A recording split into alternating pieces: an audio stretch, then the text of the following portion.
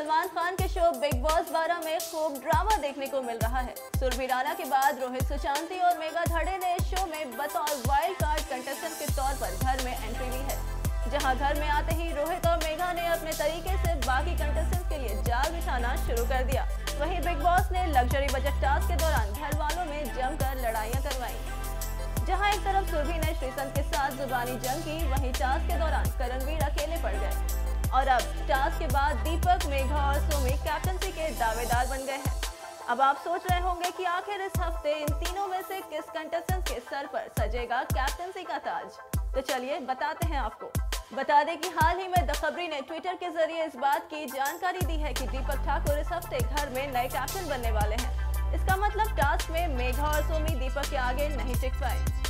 बात करें दीपक की तो अब तक वो शो में फूक फूक कर कदम आगे बढ़ा रहे हैं और वो अकेले ऐसे कॉमनर हैं जिसे पहले दिन से ही लोग काफ़ी पसंद कर रहे हैं। वेल देखना तो अब ये दिलचस्प रहेगा कि कैप्टन बनने के बाद अब घर में क्या क्या हंगामा करते हैं।